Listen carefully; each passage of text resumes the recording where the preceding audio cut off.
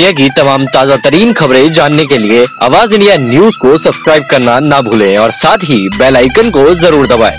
ब्राह्मण चाहे तो भगवान को भी दरिद्रता से बचा सकता है, जैसे दरिद्रता से सुदामा ने कृष्ण को बचाया था इस वक्त की बड़ी खबर हम आपको बता दें कि व्यासपीठ से आचार्य राजेंद्र महाराज के द्वारा कथा के सातवें दिन बताया कि कलयुग के समस्त दोष, तापों और पापों को नाश करने का एक ही उपाय है श्री कृष्ण जी का वांग्मय स्वरूप श्रीमद् भागवत कथा रूपी सत्कर्म को आत्मसात करना और हरि नाम का संकीर्तन करना।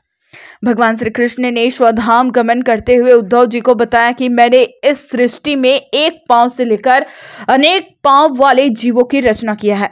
किंतु मुझे सबसे प्रिय मनुष्य योनि है, जो अपने जीवन में सत्संग और हरि नाम संकीर्तन करते हैं। सातवें दिन की कथा में प्रदुमन जन्म सैमंतक मणि श्री कृष्ण की गृहस्थचर्या सुदामा चरित्र और द्वादश स्कंद में भागवत धर्म का उपदेश बताते हुए कहा कि भगवान दीना नाम परिपालक है।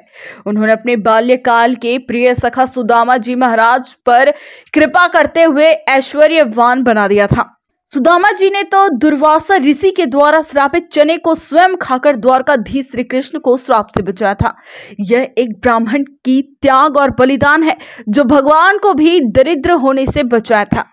भागवत कथा का रसपान करने के लिए संयोगिता युद्धवीर सिंह जुदे पूर्वक विधायक डॉक्टर खिलवान साहू पहुँचे, जिन्हें व्यासपीठ से आचार्य राजेंद्र महाराज के द्वारा श्री कृष्ण नाम का दुपट्टा एवं श्रीफिल देकर उन्हें आशीर्वाद प्राप्त किया।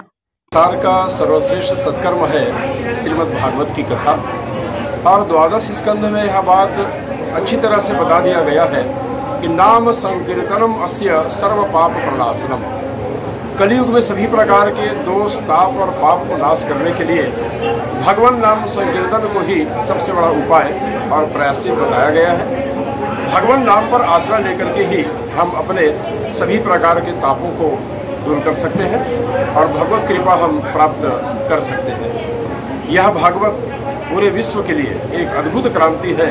आध्यात्मिक क्रांति है और जिसके नायक है भगवान श्री कृष्ण भगवान ने कहा है कि मुझे धरती में रहने वाले मनुष्य ही सबसे प्रिय है, क्योंकि ये मनुष्य ही मेरा सत्संग करते हैं, मेरी कथा श्रवण करते हैं और मेरे नाम का संकीर्तन भी करते हैं। श्री राधे।